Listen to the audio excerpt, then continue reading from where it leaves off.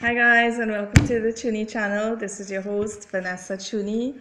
Today I'm going to be doing a little educational video for you guys. Um, it's all about creative writing. Now I know that gives a lot of problems to uh, many, a young one and even the older ones too. Um, but instead of having this fright and this shock about it, I think um, the first thing is we need to relax. Creative writing is not as um, horrendous as it sounds, okay?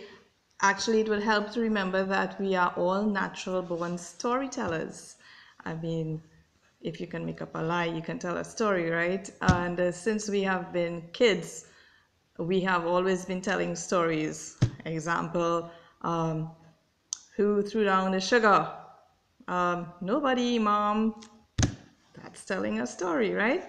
So that's a basic example. Um, children love to be told stories. They love to listen to stories. Adults as well. We never grow tired of hearing stories.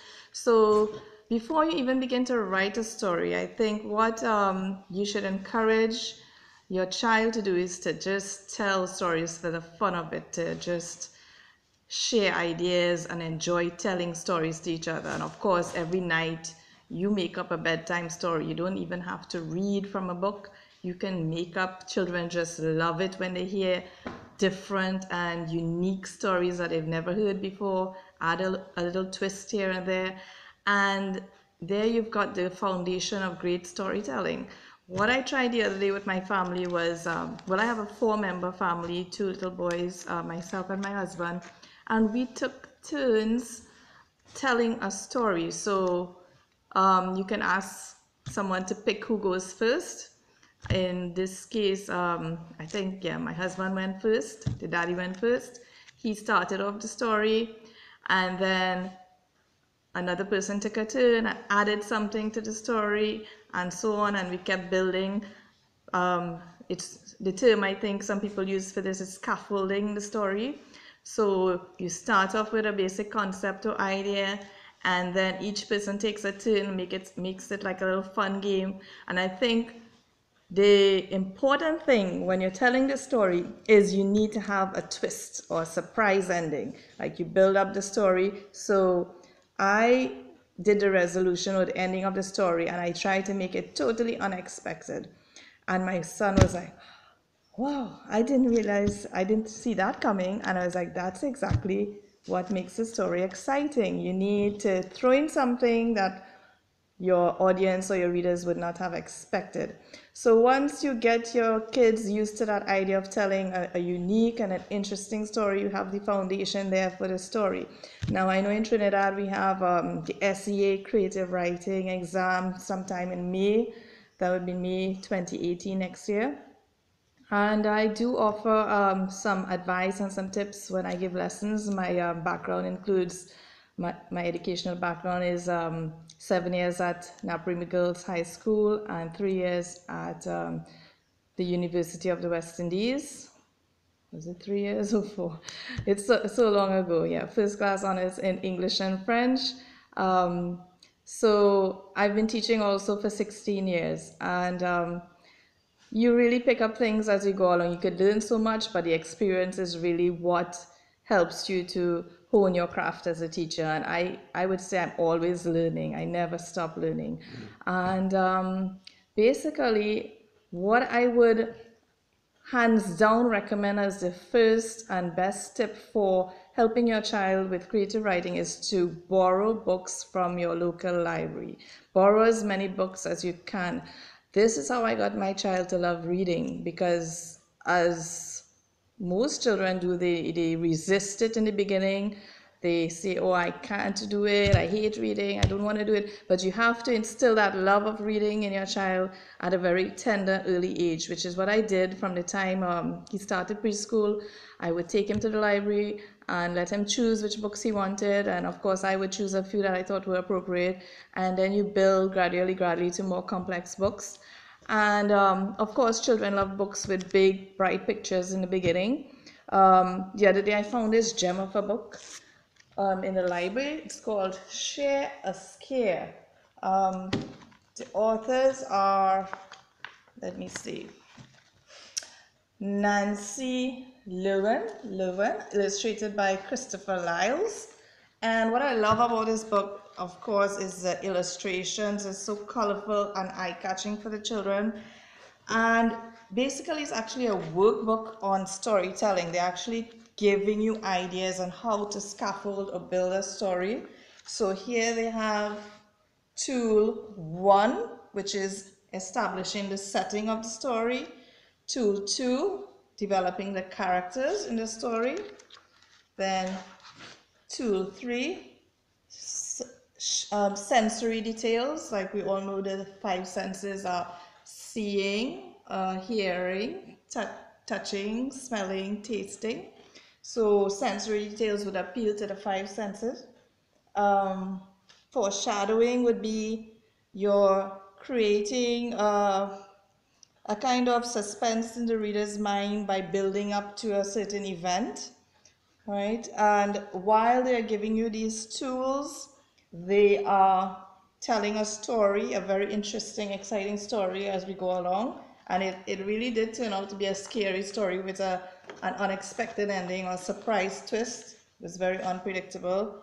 So we have tool five, which is a plot or the actual body main events of the story. Tool six is the surprise or the twist that I was talking about.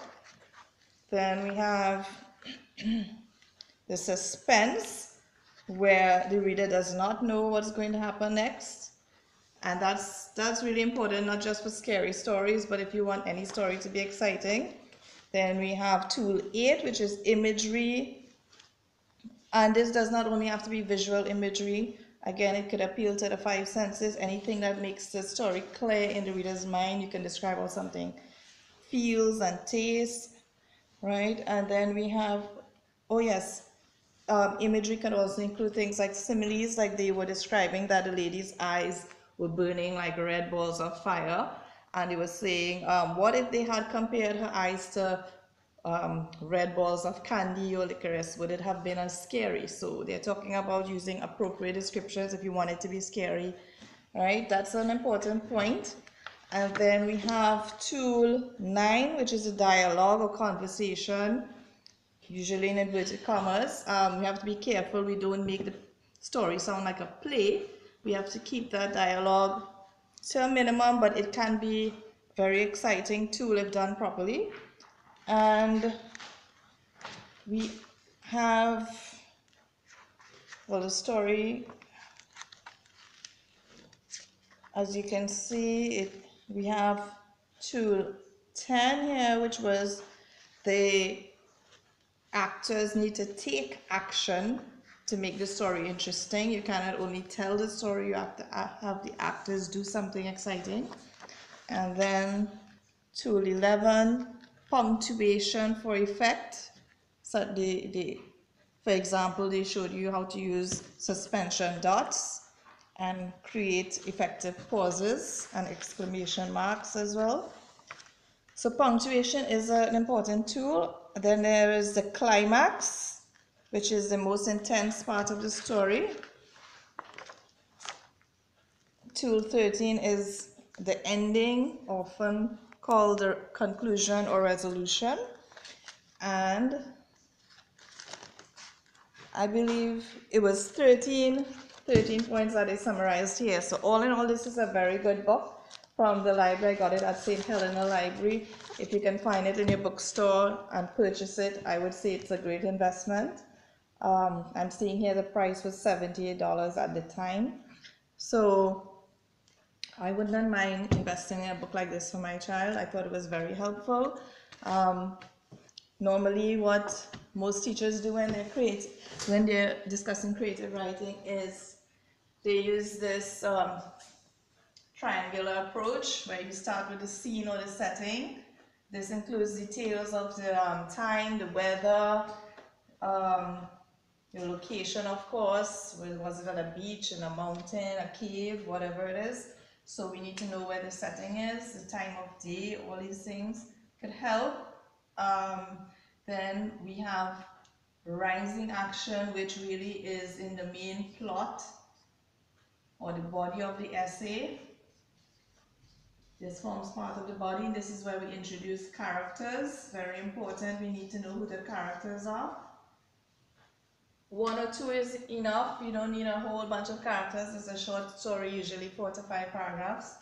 And the action, we create in this section, we also create a problem or a dilemma, same thing, or conflict, because you know, in Trinidad, we love bacchanal, but all over the world, we can say people find confusion is interesting. So this is where we create a little confusion, meaning not that confusing the reader, but a little um, conflict, and it doesn't always have to be physical conflict, people rolling on the ground fighting. It can be something is bothering or worrying a character, that's internal conflict. And all this will lead to the climax, so the most exciting part of the story. I think we all know what climax means. This is the point of highest tension. And then somebody thinks of an idea to resolve the problem, an idea or solution, and things start to wind up, and we come to the resolution or the ending of the story, where everything usually works out and is solved. But we can also have a suspenseful ending where the reader is left to guess what would happen after. That is usually the case with most thrillers and um, scary stories as we saw there. So these are different parts of the story that um, comprise the creative writing for the SEA and basically as I said get your child interested in reading and telling stories and have fun with it. Make make it an enjoyable activity so that you know the path of least resistance is always the best. Okay guys? And good luck to the parents and all the students writing SEA next year I'm available for um, advice, consultation, tips. My name is Vanessa Chuni. Thank you all for watching. Bye. Till next time.